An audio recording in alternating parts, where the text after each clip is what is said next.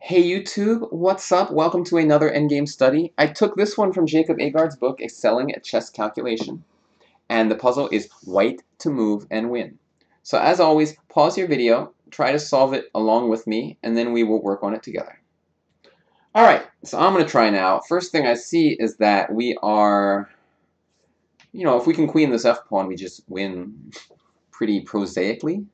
So bishop g5 looks like the, the obvious looking first move.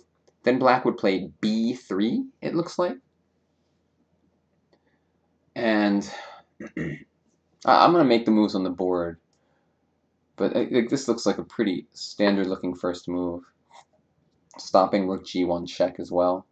The thing is b3 now. And then if, if f7, he can just push the pawn. So you, you'd think about this move. And like, if king a1, now f7. Uh, the problem here is probably some kind of move like this. And if we make a queen, something like check, and, you know, like this move. Oh, no, this wins, actually. Queen a3. King a2, we should be winning.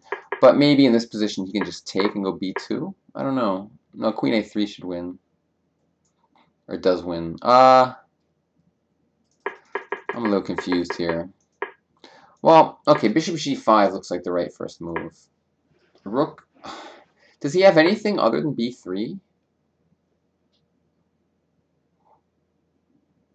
I mean, I suppose rook g8 is playable, but it looks pretty ugly. Let, us say b3 again. Rook to d2. If king a3, I don't even see the point. Just just f7. It doesn't seem very logical to me. So probably king a1. And then, I mean, let's look at f7. I mean, maybe it's not the right move, but it looks pretty normal rook takes, pawn takes, rook g1, rook d1. I mean, honestly, maybe even even this move is interesting. Threatening b2. It's not super easy to get out of that. Uh, we're up a queen, but b2 check is coming. Uh, and if queen a3, rook a2, although I have a feeling we're going to win here, somehow. The question is how. If queen takes rook, I'm pretty sure it's a draw.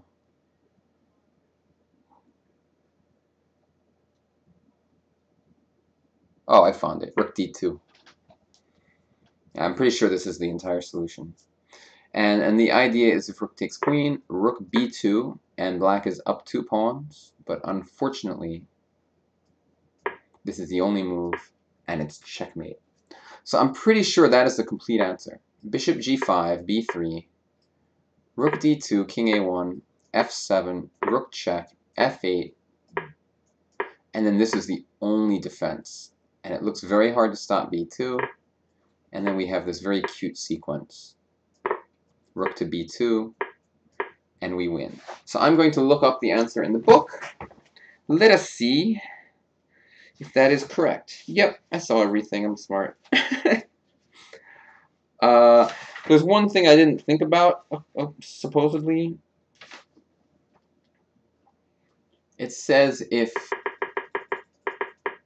it says if a3, yeah, then it says rook to d1 wins, but that's not surprising to me. It's kind of not super hard move to find because uh, we're threatening to just we stop all the pawns basically. If we queen, then I guess b2, uh, and black is fine.